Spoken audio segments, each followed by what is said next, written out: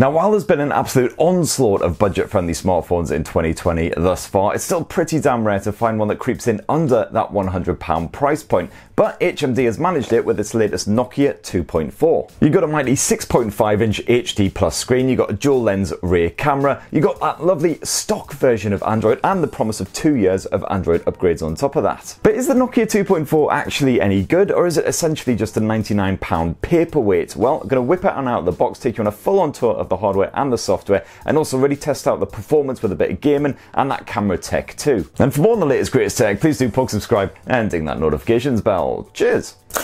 All right, there's the Nokia 2.4. What else do you get in the box? Bit of porky pin action, Natch, an entire tree's worth of get started guides in basically every language known to man. You've got your dinky wee adapter, in my case it's a European one because it's a European review model. And you've got your USB charging cable as well.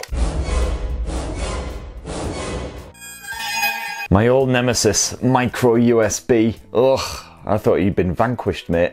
Anyhow, that's everything in the Nokia 2.4 box, so now let's actually check out the phone. I've gotta say, I'm a little bit gutted because it is unfortunately the charcoaly grey version of the Nokia 2.4, whereas on the box, they're actually teasing you with the lovely, vibrant purple version. You can actually pick up the Nokia 2.4 in a trio of colours. You've got that pinky purpley version, you've got this grey model, otherwise you've got a blue option as well. Or as HMD have labelled them, dusk, charcoal, and the rather charmingly titled Fjord. Here in Blighty, unfortunately, the only available colour option is the dull and dutiful charcoal, which to be fair is pretty fitting for 2020 anyway. And it is a plastic finish, as you would expect for under 100 bob, but seems pretty solidly constructed, to be absolutely fair, and it's got this lightly textured sort of finish to the surface as well, which should just aid with grip. And at least the Nokia 2.4's matte finish means that it won't pick up greasy, smudgy prints the way that glossy smartphones do. And the Nokia 2.4 also has very basic IPX2 splash resistance as well, so it'll be fine for, you know, taking it out in a bit of a rainstorm, something like that. As for the rest of the design, well, you've got your power button and your volume rocker over there on the right edge. If you twist over to the left edge, you've actually got a dedicated Google Assistant button on there as well, which seems to be cropping up on a lot of budget-friendly stock Android phones. And then around back, you've got that dual lens rear camera, which only juts very, very slightly from the rear surface, which is nice to see, and of course a rear mounted physical fingerprint sensor too. Now let's get the bugger open and see what we're dealing with as far as the SIM slots go. And it's good news there because not only do you have two SIM slots, but you've also got a completely separate slot for your micro SD memory card,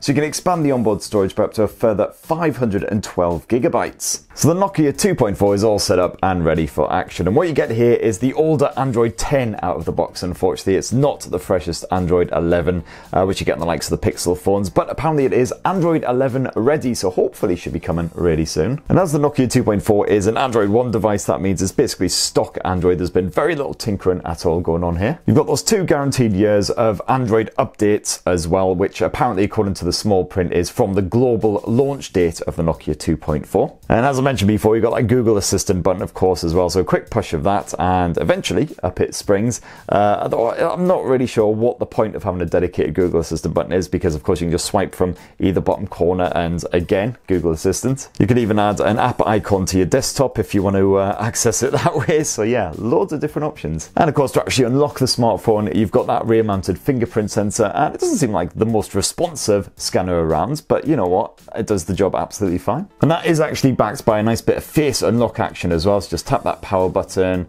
springs to life. Hopefully will recognize my face. Maybe the lighting wasn't quite right in that bit. Let's try it here next to the window. Yep, there we go.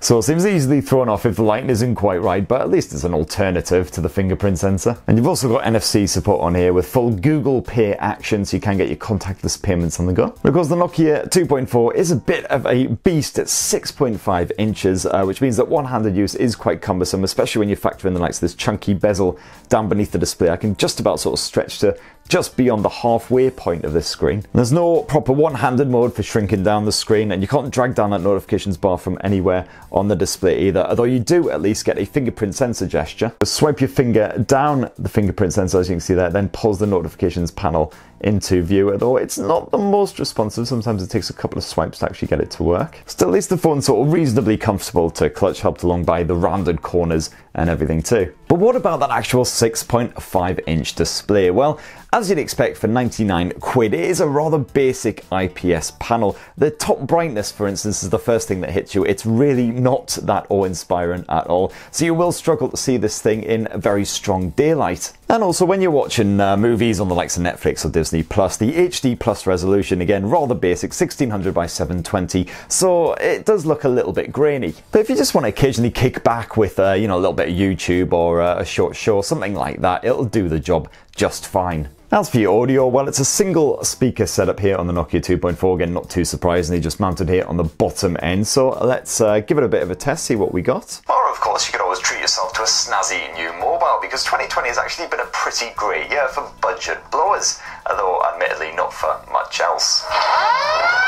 And yeah, it's basically, again, what you would expect from a £100 smartphone. Not the loudest on that top volume, but it'll be alright as long as you're not in too noisy an environment. And the clarity is absolutely fine. But what you'll want to do if you are enjoying a show or a bit of music or something is definitely get yourself a proper pair of headphones plugged in because you do actually get a headphone jack up top, something which is missing from most premium smartphones these days. Otherwise, you've also got a good bit of Bluetooth 5.0 support on this thing. Now, providing the grunt here on the Nokia 2.4 is the basic MediaTek Helio P22 processor, and it's backed here just by 2 gigs of RAM, which is a rather meagre amount indeed. So unsurprisingly, the Geekbench scores are less than impressive, shall we say. Very basic 137 single core and 505 multi-core, which is the lowest I've seen in quite some time. Now you can grab a 3GB model of the Nokia 2.4, but unfortunately it's not available here in Blighty just yet, uh, and it's only available in, yeah, in select markets. And yeah, I have noticed in uh, my little bit of time with the Nokia 2.4, it can be a little bit lethargic at times for sure. Sometimes flicking through the menus can can be a bit stuttery.